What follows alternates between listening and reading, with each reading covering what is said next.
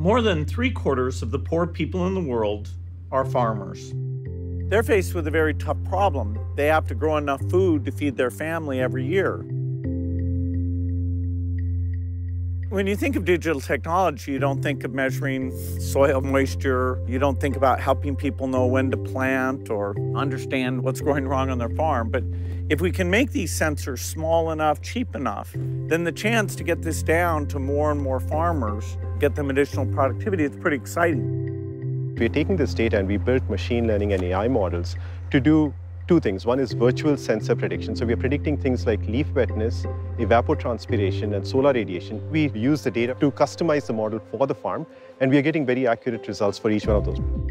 These sensors use a new type of connectivity that's very inexpensive. It's called TV white spaces.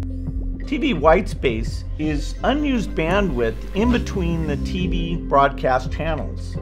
Governments are now allowing this bandwidth to be used to transmit data. In this case, it's the data coming from the field that goes back to the computers that helps create the best advice to the farmer. What you're seeing here is a TV white spaces router. This is like your Wi-Fi antenna at home, powering all of this through solar panels. You just power this on and you get Wi-Fi on demand in the farm. We use it to send drone imagery.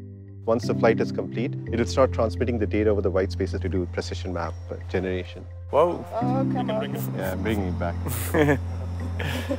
Cutting the leaves. Any data you can get to farmers can make a huge difference. The weather is always highly variable. Deciding should they invest in fertilizer, when do they plant, understanding which crop would be the right one at this time. Even 20% more productivity means that they can afford school fees, save a little bit for a tough year, you know, climate change is going to make the farmer's job a lot harder, and just closing that yield gap, even a modest amount, would make a huge difference for all those farmers.